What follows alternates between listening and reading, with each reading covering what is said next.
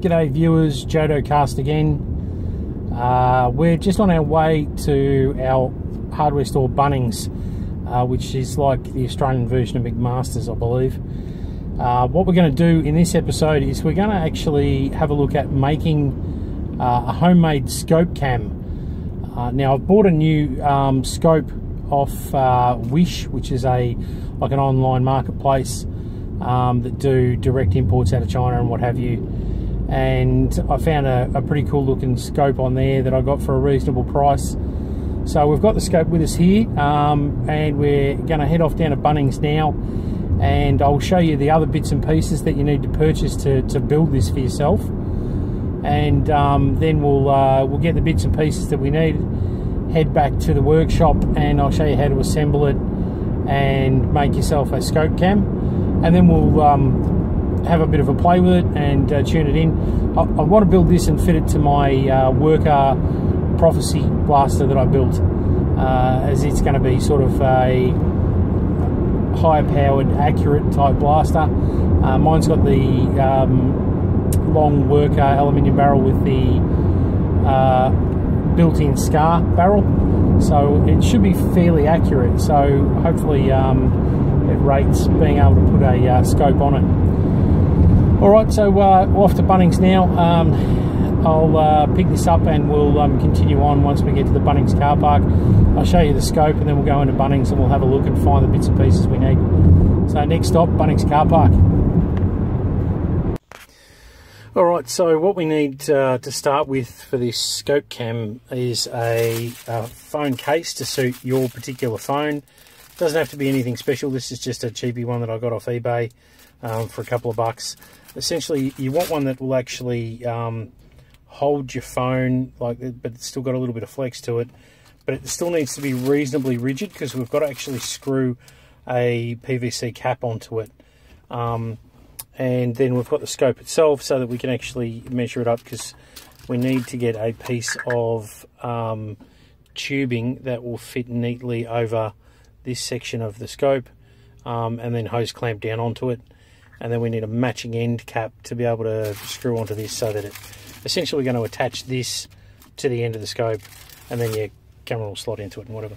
But we'll show you that more in a minute. We'll um we'll take the take the scope into Bunnings and we'll go and look for the bits we need.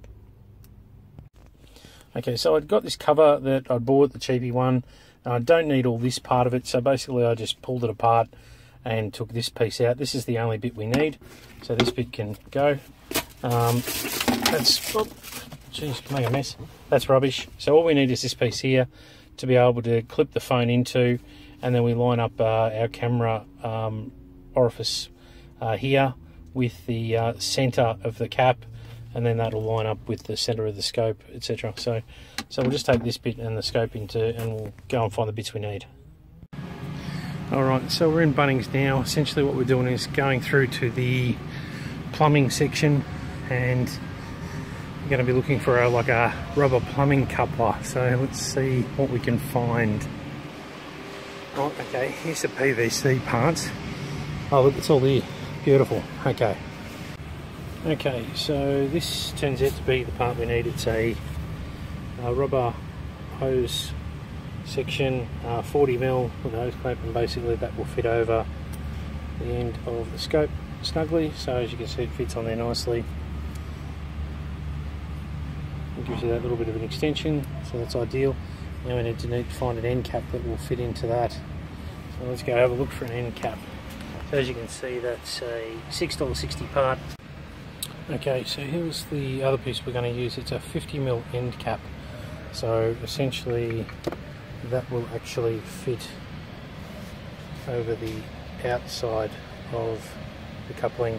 We'll put a couple of screws through the outside to screw them together and then that'll slip over the edge of the scope. Alright, so these are the pieces we need, um, so we'll grab these and we'll head back to the workshop. Okay, so those couple of parts came to $9.25 Australian, uh, plus the phone cover thing that I've got, which I think was about, oh, I think with freight and everything, I think it worked out to be, be about 4 to $5. So, look, if we're talking about $15 all up for the parts, um, that's sort of a maximum. Alright, let's get these bits home and uh, we'll show you how to assemble them all.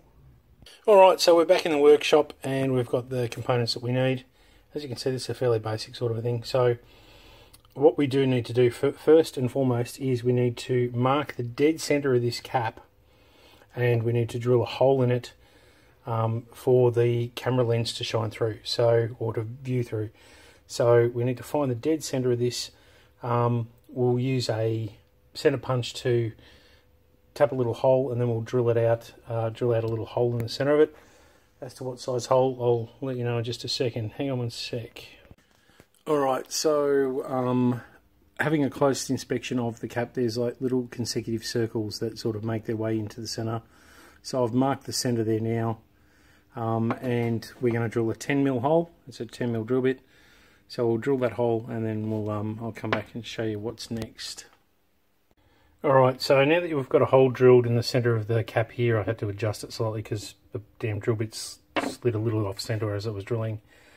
Um, what we need to do is get our rubber piece here and pop one of the end caps off and that will actually go inside that piece there. So that's how that will fit.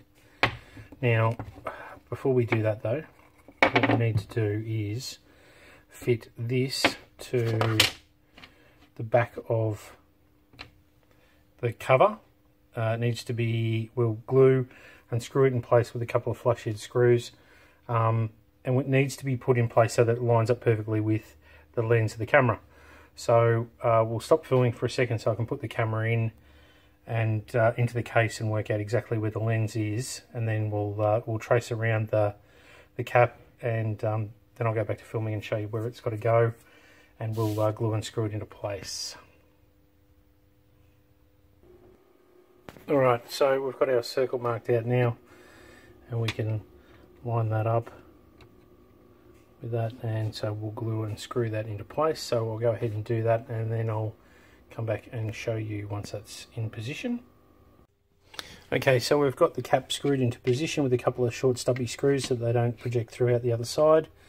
Now the next step we have to do is um, we take this rubber section and we put it down into there, get it in nice and tight, tight and flush, flush, and we have to drill some holes through the sides here, uh, in all four sides, uh, and put some screws through basically to screw that into place to hold it in place there.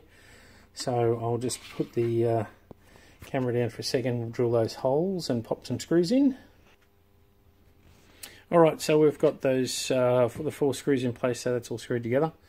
So essentially now what we have to do is place this onto our actual scope, like so.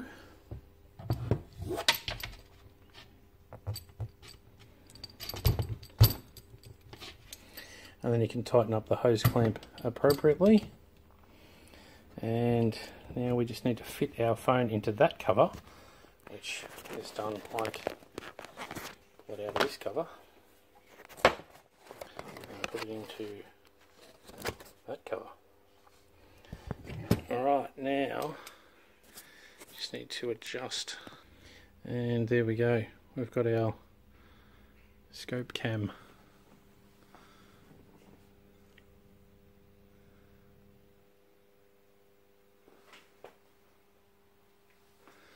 And then we can actually zoom in.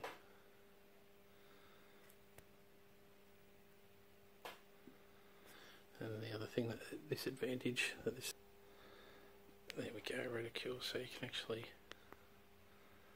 illuminate that. Alright so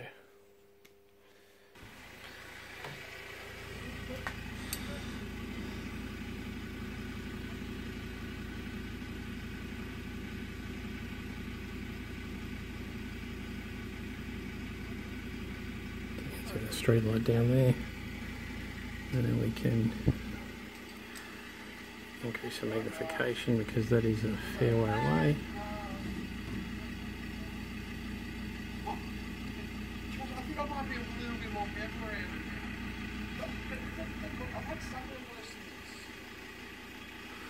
so there you go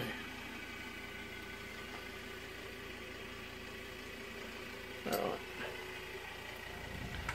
you get the idea. Yeah. Alright, so that's how, how to make a basic little scope cam. Alright, so um, in the next video we'll um, I'll uh, have this fitted up to my Prophecy Type R blaster and we'll do some test shots and um, see how the scope camera goes. Alright, um, thanks for watching. I hope you enjoyed that and I hope it's been beneficial and um, for any of you guys out there that want to muck around and make yourself a scope cam. Um, yeah. Thanks for watching. Please like and subscribe and I'll see you on the next one. Cheers.